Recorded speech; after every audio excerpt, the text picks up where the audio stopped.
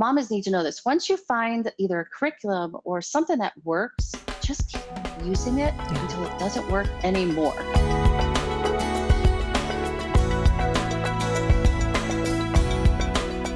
Let's talk about simplifying our homeschool uh, because this is something that I think at this point, you know, it's it's kind of nearing the end of summer. Lots of moms are planning for this next school year. We're not exactly sure maybe what it's going to look like. Maybe there's lots of moms out there who are really freaked out about what this year is going to look like. You've got your type A moms mm-hmm. who, you know, at the end of last year they had everything already planned out and all the curriculum stacked up and you know, they they they knew exactly what they were doing.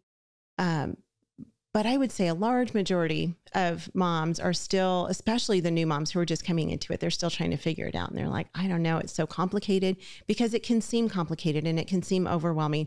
And it can be complicated if we make it complicated, but it That's can also it. be simplified if we make it mm-hmm. simplified. Mm-hmm. So, mm-hmm.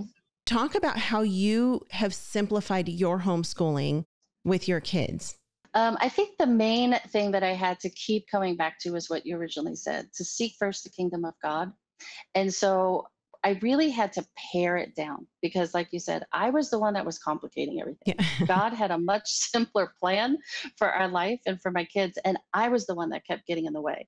And so I tell moms all the time my kids learned not because of me, but in spite of me, mm, because yeah. I was my worst enemy. I was the one that always got in the way. And if the kids were stressing out or if we were on overload, you know, schedule overload, it was always, right. always my fault because you know I was always afraid they were going to miss out on something or that class over there is so much better. So um, we always when I started to pare things down is when we were able to actually breathe. Um, but I do think the first step in simplifying is going back to trusting in the Lord. Yeah. When you truly trust that the Lord's got this and He's called you to homeschool and that you are exactly where God wants you to be, yeah, it's gonna be okay. Right. It's gonna be okay. Right. Um, and so for us, we simplified by seeking first the kingdom. So we always started with our Bible study and our family devotion. So that was a must. Um, I only picked one area of math that we were going to focus on that year. So it was never like this whole checklist of things that we had to do. So, you know, it was math, very simplified. Mm-hmm. Um, and once, and this is a good one, once mamas need to know this, once you find either a curriculum or something that works, just keep using it yeah. until it doesn't work anymore. You don't have to reinvent the wheel every right. single year, especially if there's this new trend out there, there's this new curriculum out there, um, or everybody's using uh, this curriculum in your co op. If what you're using is already working for math, just keep using it until it doesn't work anymore. Right. Um, and then read aloud was always our big thing. So mm-hmm.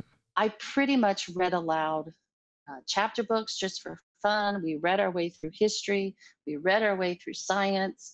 Um, and so when I always tell moms it was those three things it was Bible time, mm-hmm. it was read aloud time, but that encompassed pretty much it hit every every area that we were learning about. And then we we did our math. Um, and then for writing, our, my kids didn't have a formal writing program until they were well into middle school, high school. Yeah. Because we just wrote something every day in our journals and, you know, we talked about it. We had great discussions. And um, I think it was Ben Franklin that said the best writing program out there is to read. Yes. So yeah. I figured by the kids reading and me reading to them, yeah.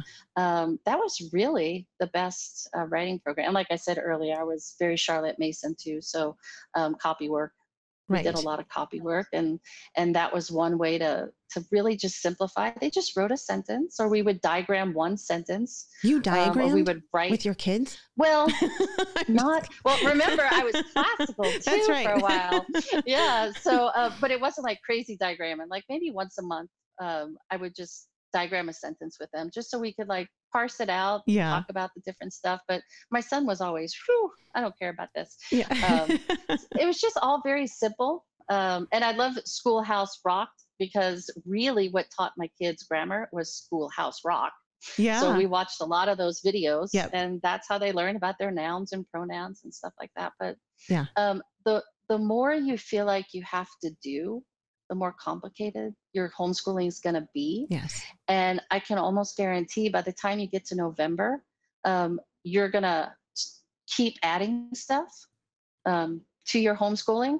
And then it's just going to get more and more complicated. And then come February, you're going to hit that wall and you're going to think something's wrong. And and then you just start ditching everything. And so Right. you might as well just keep it simple. Yeah. Yeah. Because then you're overwhelmed and the kids are overwhelmed and everybody's stressed out Mhm. and it's no fun for anyone. And so, yeah, Mm-mm. yeah, keeping it simple is is so important. Homeschool Insights is sponsored by CTC Math. If you're looking for a great online math program, visit ctcmath.com and try it for free.